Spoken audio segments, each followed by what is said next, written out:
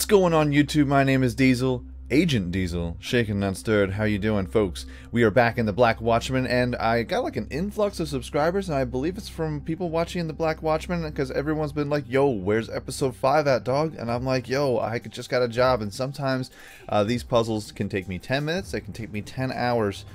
Uh, it's just finding the time. So I am making more episodes. Just keep your pants on. You know what I'm saying? Don't get you know all kinds of bugs in your butt. Okay. But I have completed Mission 7 Wiretap. It's a very interesting one because it happened. Uh, the first part has to do with some hockey. I'm a hockey fan, so I was all about it. So let's replay the mission. I've already completed it because it took me a while. So let's replay this mission. Ooh. The spot looked no different than any other in the valley. The only reason the detectives were combing the desert was because the cadaver dogs had picked up the smell of decomposition. Finally, the search for the missing there has been an update in the Rosenberg Clinic case. Listen to the new audio intel in the archive regarding their experiments and determine the focus of their research. To its inevitable end. This is what we signed up for. This is the work we do. Interesting. And gross. Let's close out of you. Hmm.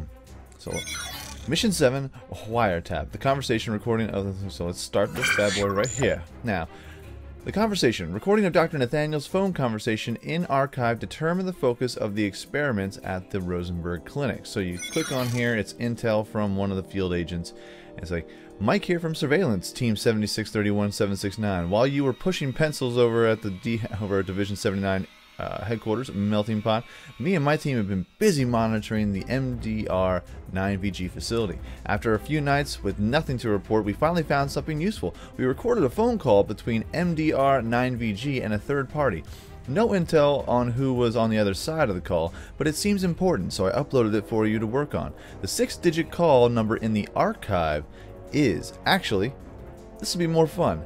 You guys sit around cracking codes all day, right? So here you go dot dot dash dot dot dash dot dot. And here are the hints. The clues. The first that hung from the rafters of the CSKA Ice Palace. Second, 1983 round of Calder's oldest player. And number of Soviet titles from the father. If you are as smart as the brass thinks you are, that should be a breeze. Enjoy your desk job, Agent Mike Grisha. Jerk. Okay, so the first that hung from the raptors of the CSKA Ice Palace. CSKA Ice Palace is one of the places where the Red Army used to play their uh, their Soviet games. You know, Miracle on Ice, that type of stuff. So we hop on in. Whoops. Hey, how's it going? And we just type in into the wiki.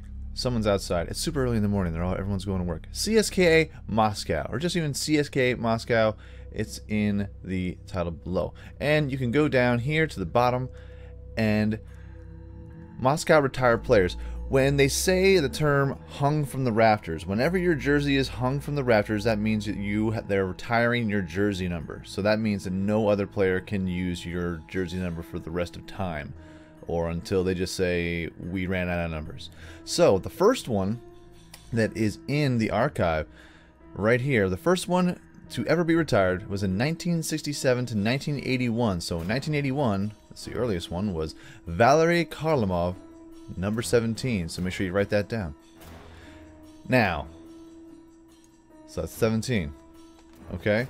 Now, don't enter, like, I'm just entering this in for the funsies. Okay? Just for funsies. 1983 round of Calder's oldest player. The Calder Trophy is the league NHL's uh, highest highest rank. And Sergei Makarov was the oldest player to ever win the Calder Trophy at the age of 31. It's not it's the uh, Rookie of the Year award. He won it at the age of 31 because he uh, was finally allowed to play in the NHL.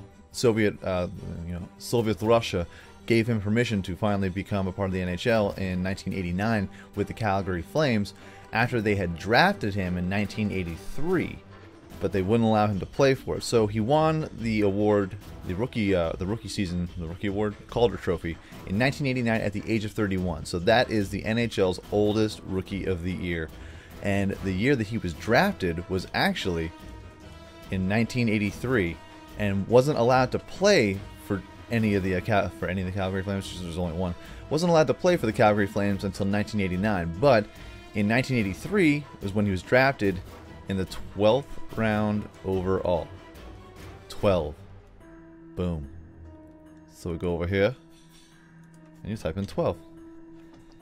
Dash. Now, number of Soviet titles from the father. This refers to the father of Soviet Russian hockey, Anatoly Tarasov, coach of the Red Army, the Red Army hockey team. And then you go out to the bottom of the wiki, and at CSK Moscow, he won 19, 19 times, 19 Soviet titles, including all but five from 1955 to 1975. So, 19. Now, here's where a lot of people are getting hung up on this. Because they keep on hitting this and they're like submit wrong. And they're like oh maybe it's a different kind of number.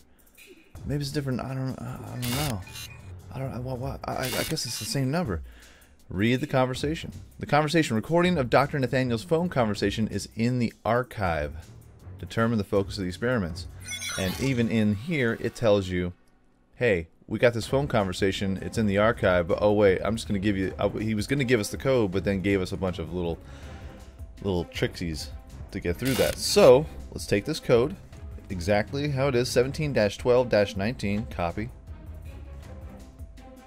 Hop over here. I have to hop into this one because the archive, for some reason, in my game, like it does weird things. So, archive.blackwatchmen.com. Type in the archive number, and it gives us a phone conversation. So let's listen in. And now what we have to do is we have to focus on the uh, determine the focus of the experiments at the Rosenberg Clinic. So we're trying to figure out what the dealio is, what they're focusing on. Ready, set, play. Hello? Uh, yes, yes, I am. Uh, ho- hold on, just let me get the door. All right. Uh, I'm doing well, thanks. And yourself? Excellent. I think you were in Egypt the last time we spoke? Morocco. And how was it? Uh, that's too bad. I-, I, hope you had a day to yourself at least. I guess that's business. Uh, personally, I have to get out of the city. Uh, my family and I go camping as often as we can manage. No, no, no. We've got a camper. Um, uh, mostly upstate New York, Vermont. Uh, we were in Maine last weekend. It is. It it really, really is. All right. So, where should we begin? Uh, preliminary results uh, inconclusive, but I, uh, of course, yes, of course. Uh, my team is working hard to do these. There's no doubt in my mind. Uh, we're getting closer. I, am optimistic that a breakthrough is just uh, proof. Well, well, I'm a doctor, and you can take my word for it. No, no, of course. Assurances?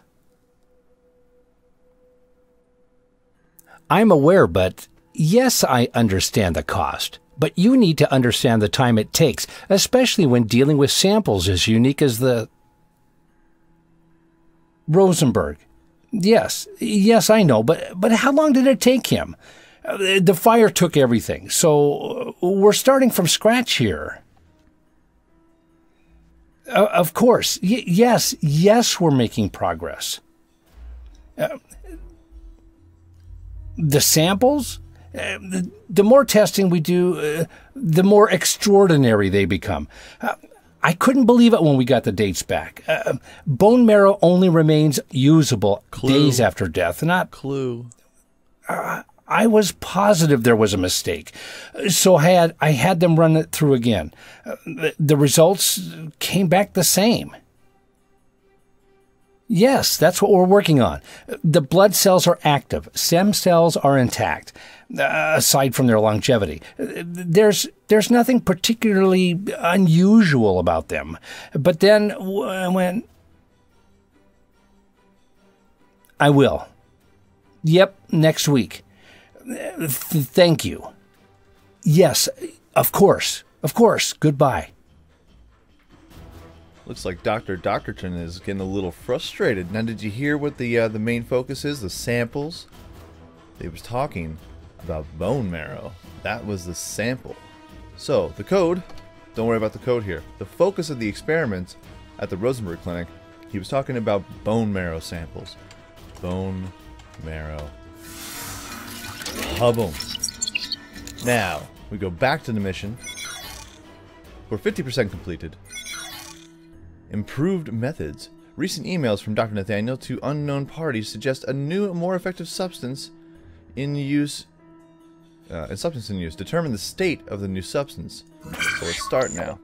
So it gives you a whole little little briefing here.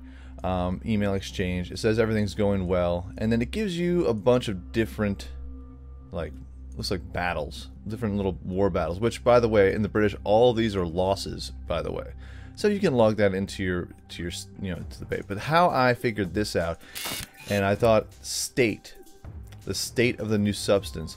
Chemistry is your friend in this, folks. When you go with chemistry, there are three states. Okay, okay. States of matter: solid, liquid, gas. This is how I figured it out. Okay, you type in solid, nothing, gas, nothing, liquid. That's all I did. Like that, uh, just, when it says the state of a new substance, state refers to a chemical, uh, chemical composition. States of matter, I typed in the three that were there, and I got liquid. So that's how it, real, real hard for me. You know, the hardest part was the first part, uh, just trying to get through all the different numbers, and then realize that I was typing in the. Uh, typing in the archive number into the like um, why isn't this working like into the end thing and it wasn't working and I was getting very very frustrated so mission 7 wiretap completed and then mission 8 the substance is going to be our next episode so once again I apologize for the uh, the lack of episodes these things sometimes can take me a little I'm very I'm very burpy today. very burpy in the morning. Haven't had my coffee. Need more coffee. Need more coffee. So, like I said, um, these are the I'm getting different. You know, I'm getting mails, mails. You know, I'm getting stuff in the mail. I'm getting uh, phone calls now, by the way, too, and emails for new missions. So we can actually start making vlogs about this series, about how going out to different areas and completing these missions, and what we have to do to become the greatest secret agent that no one should know about, but everyone knows, just like Bond, James Bond or not. So folks, if you enjoyed this video, go ahead hit like. If you want to see more of the videos I have on my channel, go ahead hit subscribe. New videos coming out every single day, every single week. Folks, have a great day, afternoon, evening, good night. Peace out like shout, and I will check you out right here again in the Black Watchmen next time.